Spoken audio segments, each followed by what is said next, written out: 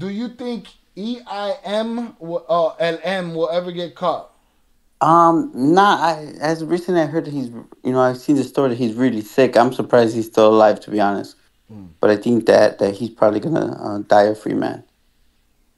Uh, he he's just he's too much of a simple person, and he's not. You know, he's too smart. You know, and at this at this age, I, I want to say that he's probably already kind of like stepped away. His opportunity to let himself slip his past. Yeah, I think that he, he's too smart. He's probably you know make sure he you know from afar he he he probably makes you know bigger decisions, but I doubt he even cares what's going on. Right. Salutes Michelle for the $1.99 super chat. Super chat. She said, Jay, would you take an undercover job with Trump in D.C.? In, in what way uh, undercover job? Which I'm all about change. Okay, I don't have a my, my political views are kind of changing, especially what's going on. Um, it, I'm gonna say it. I'm gonna say that I, I think that um, where I'm at today, I, I feel like um, if Trump were to get through all these legal issues, I think you know I'm 100% a Trump supporter today. Uh, because of, I believe in in getting things done than not doing nothing at all, and because I'm like we're aware of of what happened. Um, I think that there has to be something drastic, and I think that he's actually could be the answer for that. Um, but sure, an undercover job, I'll take an undercover one or a, a out one. You know, anything to to basically, you know, try to promote change and and change the way drug trafficking actually has been combated, and hopefully, you know, bring a positive outcome. Part of uh, America is the government, and you know, we might not always like or appreciate how things get done, but what makes this country, you know, the country that it is, and even though we might always look at its flaws, it's still the most you know amazing country. And I, I really think that there's so many things that could be done. Sometimes it just takes you know a different view, and, and I think I'm going through those struggles now because I'm always telling everyone, look, what I'm bringing to the table when it comes to law enforcement is just a different view on on how to combat it. You know, let's let's try something different. And now I understand Trump more than ever again, it might not always be like the perfect circumstances with the perfect way it comes out because I I see it today. Like I'm supposed to be put in this situation where I'm supposed to be a, a great, you know, lecturer or a great keynote, you know, speaker, never say the wrong thing or everything uh, gets um, taken out of context. So I basically understand, you know, him more than ever. But then, you know, again, I wouldn't put myself in some of those situations that he's put himself in. But uh, I'm all about changing, all about what's doing what's best for the country and and and doing what's right, especially for you know for our future generations. And for me, my particular you know subject and my particular you know because of my background is drug trafficking. Mm-hmm. So that's where I'm putting my efforts into. You know, right. um, some people might not agree to it. You know, but I get um, this is because of my life and, and what I know and what I've seen.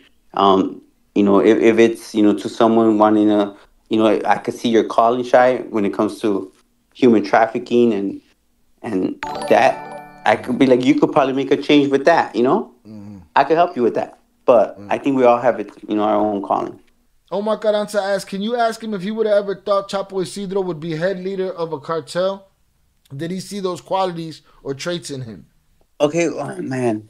Did I ever see those qualities? No, I'm be honest with you. I'm I'm being biased too. Uh, can be biased because I saw him as uh, you know, I mean, he was. I just didn't see in him. I still do. I, I mean, he's obviously the boss, but he's not like the boss. Again, he was a sicario. You know, he's he was boss, the head of the boss the, by default because there's nobody left. Basically, uh, but he was a sicario. You get me? Like a sicario. He was the head of that you know, cell. you know, at that time he was like a big important, you know, he was basically the Chino Anthrax before the Chino Anthrax for the Chapo side, or the the Cholo before the Cholo for the Chapo side.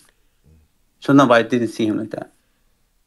I'll be honest with you, like um, when I started actually when I first met him, he had never even made any real money. Anything he had got was because they, you know, it, they would take or whatever the case is. Mm-hmm. So, he came a long way. I did hear stories about him still. Long story, but I did hear stories about him still being able to talk very highly about me. So that says a lot. Yeah, I mean, after he snatched up your brother, of course. Yeah, after the fact, after all that. it's bananas. And it's like, and it's like with me, like just where my brain be at, like that be a question I don't be wanting to ask, uh, P. You know what I'm saying? Yeah, I, you know, I don't ask him stuff like that either. Yeah, I don't, I don't, I, I wouldn't ask him that. That question sat there last week because I don't want to ask him that question, and uh, he, you know, he was covering the show that day. So my brother did a good job last week too. Um, big shout out to my brother. Hopefully he's feeling better. Shout out to P. Hopefully he's feeling better. He did a great job, man. He always does a great job. The chat loves him. They love having the conversations with him. It's a, it's a trip. Somebody asked, uh, who was smarter, Alfredo or Ivan? Or who was more like, who was better at the game? Ivan. Ivan. Yeah, still is. Edgar was probably way better, smarter. I mean, not way better, but I mean, way you know he was uh, more intelligent. Uh, I'll take that back. He was probably better at the game.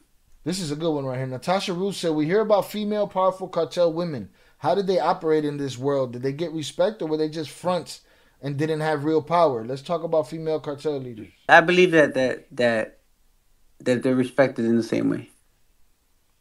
Did same you, rules apply. Same rules apply. It doesn't matter if you're, you know. I'm not even. They're not even If on my radar. I'm ignorant to the story. I mean, who's out there? Who did you work? Is, is there people that you I mean, worked with, women that you worked with out there?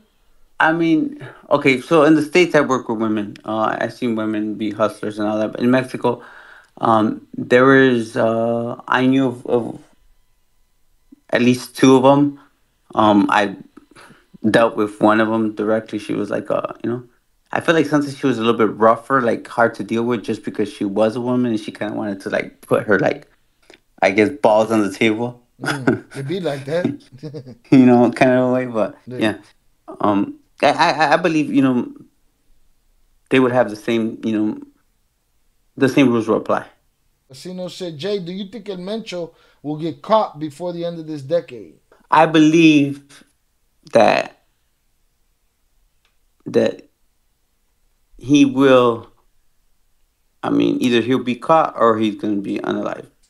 Um, I think the United States is going to be, you know, they're in a, in a uh, situation or in a position where they're going to be, you know, really clamped down. And um, I see some political um, uh, chess playing uh, happening right now, especially with uh, Mexico like starting to deny some of the agents. But with the new uh, president coming in, in Mexico and stuff like that, I think that uh, that's gonna hurt because of so much corruption that's being ousted, and usually that means that the next president is gonna want to try to, you know, uh, make a statement of this, you know, last president. So I believe that there's gonna be major things going on. Jay, why do you think the feds didn't want Mayo and ABL when you could have gave them all up? Mm, I don't know. I ask myself that question all the time. Mm. I, am gonna say this. Chose, I'm gonna say this. It's because here's the issue. I'll, I'll say it again. When we speak about the feds, you know, when we think about the feds, we think about it this big old entity, right? Powerful, intelligent entity as a whole. But that's not the way investigations work. The investigation w- work more as individuals, and that's where the problem goes. That's where it lies.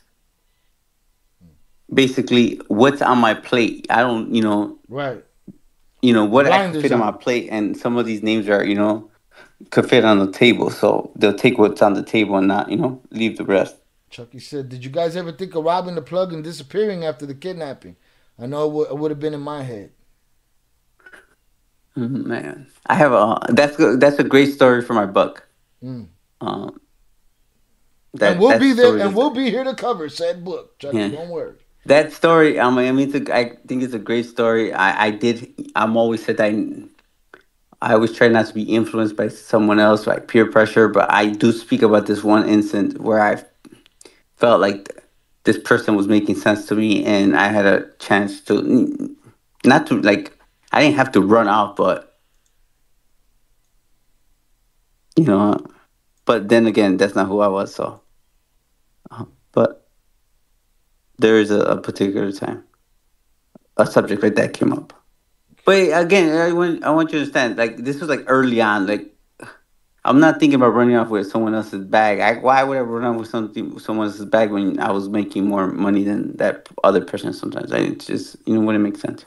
Uh, Jay, what happened to all of your homes in Chicago and your realtor gal? We trying to find her, Michelle. We trying to get Stashly. That's what I call her, Stashly. Uh, what happened to all your homes in Chicago and your realtor girl? What would have been? Uh, that would have been my dream job. I used to stage homes for sale and lease.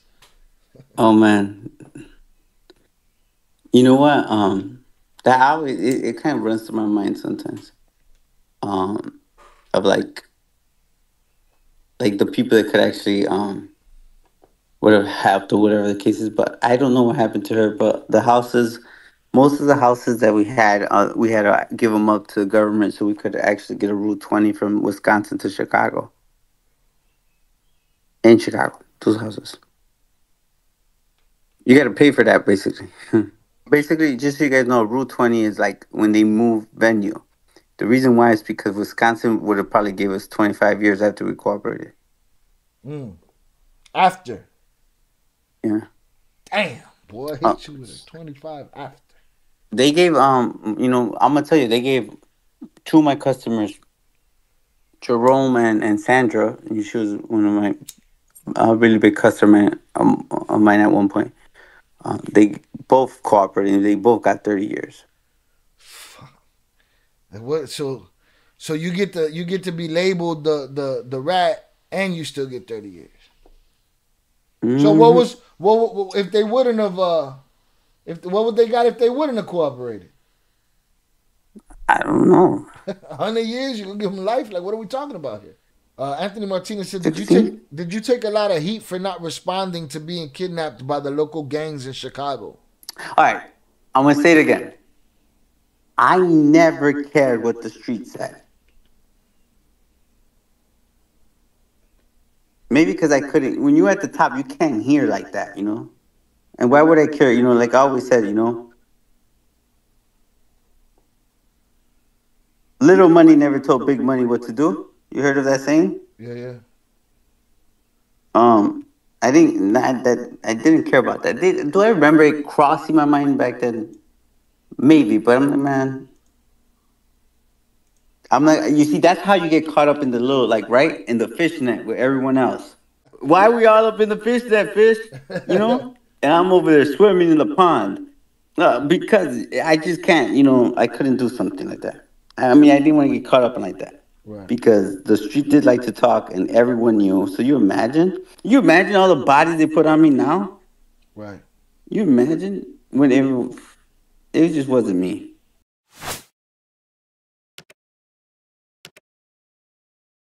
Jay, did Anabel Hernandez ever reach out to you or P mm-hmm. to do a book or anything? I have some mutual friends or associates and connections but I'm gonna guess. Um, she didn't, but I, I understand why. She's in the Mexico part of it. She probably doesn't believe in, you know, or already told her story enough where it's like, it's not anything, you know, valuable to her, because she's, you know, writes about like ongoing issues or whatever story she makes up, up at the time. Basically she she does talk about facts, but she also puts a you know it's like I want to say it's like sixty percent her opinion, you know, and her own mind. I feel like that's how people feel about Luis Chaparro. They always tell me, "Oh, eh, él pone crema en los tacos." You be adding extra shit. I mean, I yeah, know. you know, I mean, because it's, it's like I guess it's it's what journalism is is someone's opinion, but I feel like sometimes she, you know, really presses the issue. She overdoes it with her opinion, and she'll double down on something. You know.